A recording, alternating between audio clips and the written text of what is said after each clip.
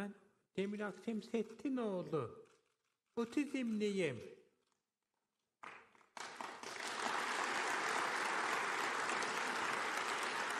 Türk'üm. Doğruyum. Çalışkanım. İlkel.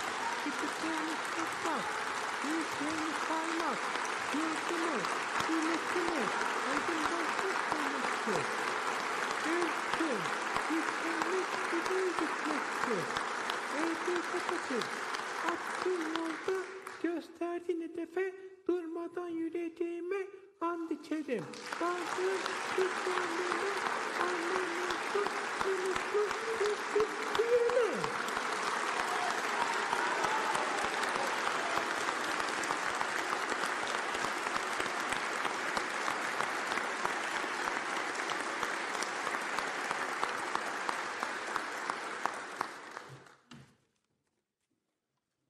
özür dileyerek bir de şunu belirtmek istiyorum. Oğlum e, kendini bildi bileli hep meclis saatini izler.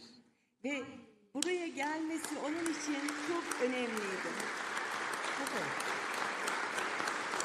Çok teşekkür ediyorum.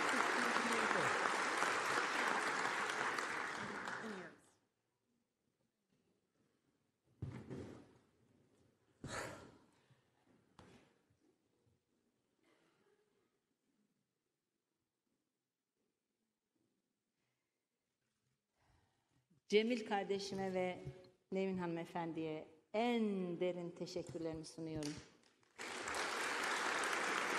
Allah sizden razı olsun.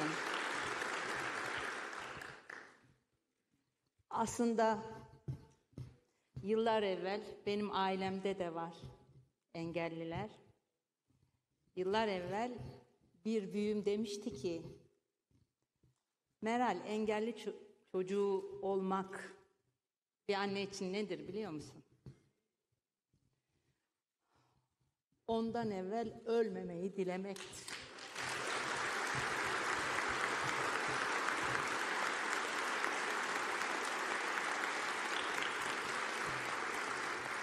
Allah sizden razı olsun.